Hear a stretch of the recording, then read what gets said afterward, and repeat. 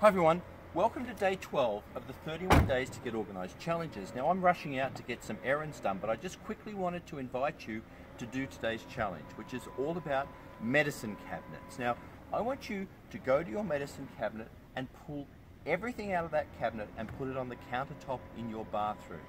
Go through and separate any prescription medications or over-the-counter medications that are out of date or that you no longer use and take them back to your pharmacist to be disposed of properly. For the rest, arrange light things together, wipe that cabinet out so it's beautiful and sparkling clean, and then put the things back in that you use. The ones you use most often, put them at eye height, and the others elsewhere in the cabinet.